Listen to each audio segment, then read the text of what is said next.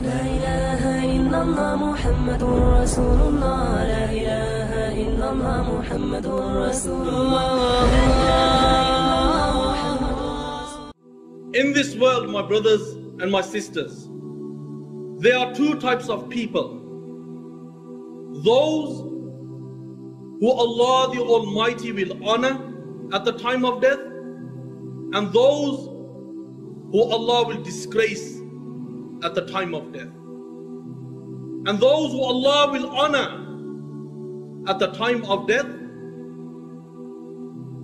are those people who obey Allah.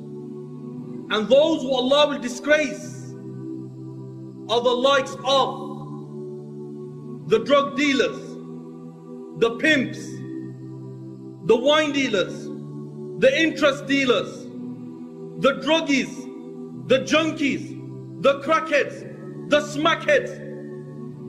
And wallahi by Allah, if they remain upon this, then it is feared that Allah will indeed disgrace these people at the time of death. Likewise, you have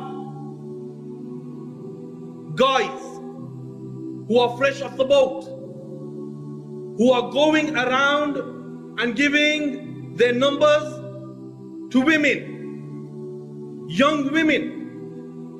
And women are falling in the traps of these individuals. How? Because this guy who is fresh off the boat, he drops some Bollywood lines and this woman falls in the trap. Time passes. The storyline of Romeo and Juliet begins. Weeks down the line, this Romeo turns out to be the devil. How? Because he turns out to be the pimp. And he begins to pimp out this Juliet of his. Hundreds of women are falling in the traps of these individuals. Hundreds. Women are falling in the traps of these individuals.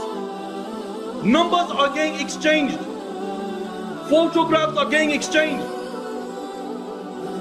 Nude. Nude photos are getting exchanged.